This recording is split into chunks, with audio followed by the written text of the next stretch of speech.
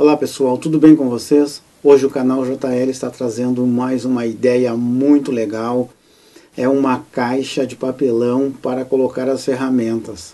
A Janaína Oliveira, ela sugeriu porta-ferramentas de papelão. Eu gostei bastante da sugestão dela, quero agradecer a Janaína e a todos vocês que de uma maneira ou outra estão sempre colaborando, sempre sugerindo temas para o canal. É isso aí, gente. Continue sugerindo, que na medida do possível eu vou fazendo. Eu acho que vocês vão gostar bastante esse projeto, até porque você pode usar muita coisa que você tem em casa. Eu, por exemplo, estou usando o corino que eu usei nesse puff, sobrou. E muitas vezes sobram uns pedacinhos e a gente não sabe o que fazer.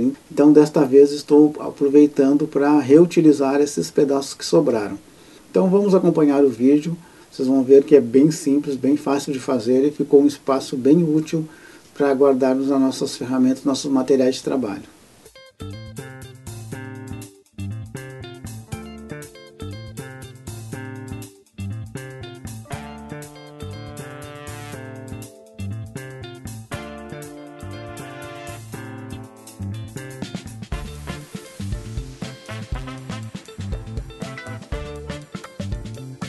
Então, gente, eu vou usar essa caixa. Ela mede 38 por 25 e por 15 de altura. Vou começar a colar as abas e virar para dentro para dar uma reforçada. Vou fazer com três camadas de papelão. Então, vou usar a aba e mais uma camada de acabamento.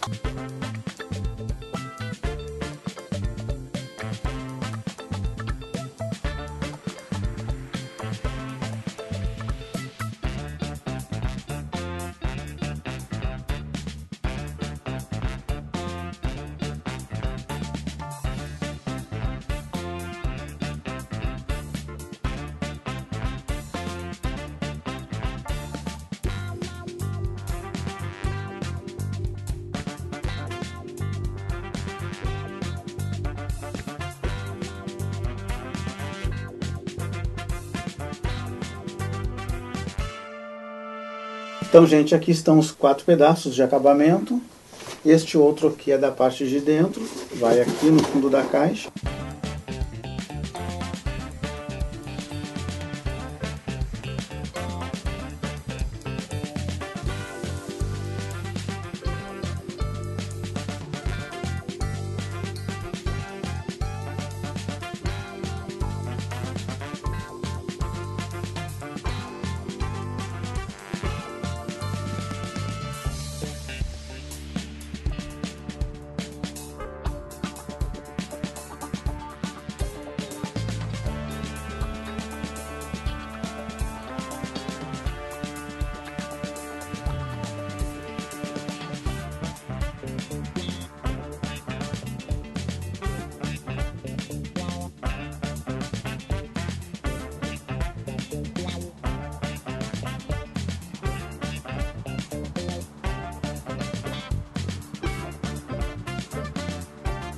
Gente, esse tecido é um aquablock, ele repele a umidade, ele é ideal para fazer esse trabalho. Agora eu vou fazer a parte de fora. Então assim, se você achar melhor revestir desta maneira assim, ó, dobrando aqui no canto e dobrando para dentro para dar o acabamento também pode. Então eu vou revestir as três peças uma por uma, da frente, as duas laterais, a de trás não, porque a de trás vai com a aba da caixa para abrir e fechar.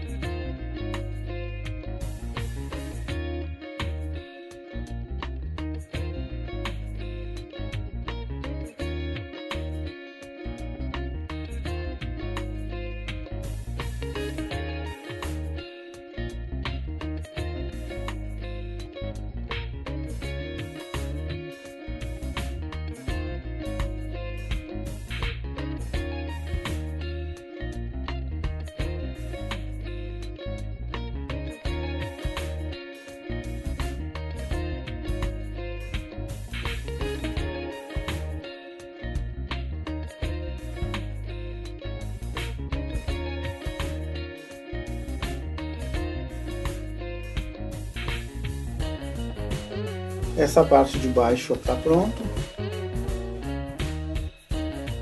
Então agora nós vamos trabalhar a tampa. Eu coloquei um corino aqui para adiantar. Vou colar aqui, ó, como se fosse uma caixa de sapato. Na verdade eu cortei com 3 centímetros maior, ó.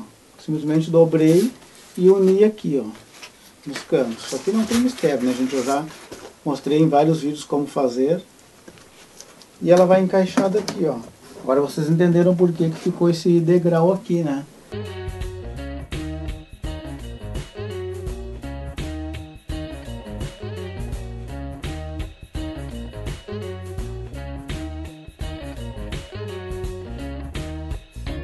Esta aqui é o acabamento de dentro. E este aqui, gente, é o acabamento da parte de cima. Vou virar uma parte para dentro e o restante, essas beiradas, vão ser o que vai dar o acabamento aqui nas laterais. Ó.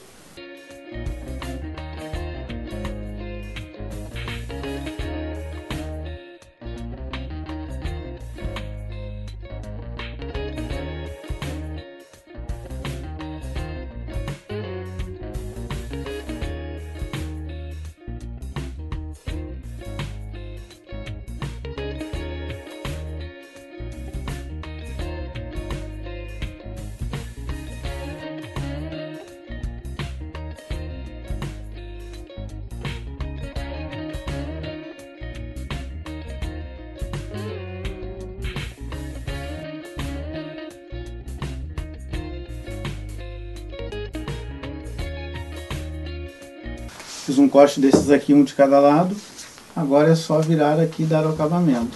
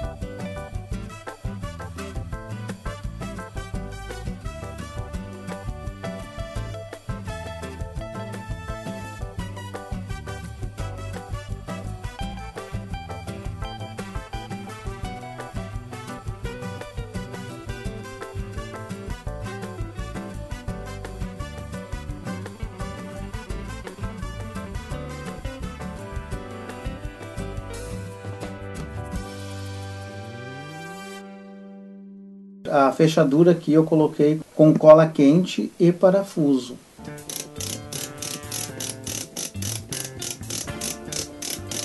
Ó, vou colocar cola bem onde tem o furo. E aí depois o parafuso já passa por ali. Bom também, gente, é colocar um pedacinho de madeira, pode ser até palito de picolé. Coloca vários aqui entre os papelões, ó.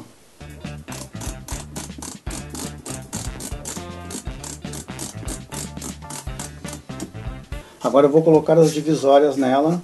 Eu cortei duas camadas de papelão, vocês viram que ele está bem grossinho. Abre um friso para frente e outro para baixo. Ele vai assim, ó. Fiz esta aqui menor. Aqui embaixo, então, vai as peças menores. Vocês podem ver, ficou seis aberturas. Aí depois eu vou colocar esse papelão também, um papelão duplo.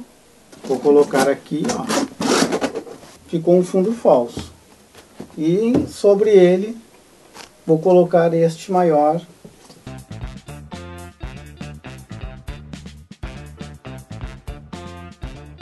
Vocês viram que ela ficou bem resistente.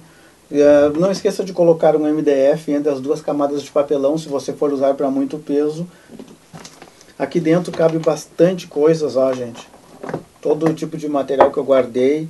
Ah, o ferro de solda, o arame que a Janaína falou que ela usa, cabe a tesoura, você pode colocar bastão de cola quente, a pistola, pincel de limpeza, enfim, cabe muita coisa aqui dentro. E este é só o primeiro compartimento. Nós temos o segundo compartimento, ó, que eu não coloquei nada. Deixe para colocar aqui as peças que você usa com menos frequência, para não ter que toda hora estar tá abrindo. Mas não tem mistério, né, gente? Coloquei as, colei as divisórias com cola quente elas já funcionam como puxador para ter acesso ao compartimento de baixo. Então é isso aí, gente. Espero que vocês tenham gostado. Se você gostou, clique em gostei. Se puder compartilhar, eu fico agradecido. E até o próximo vídeo.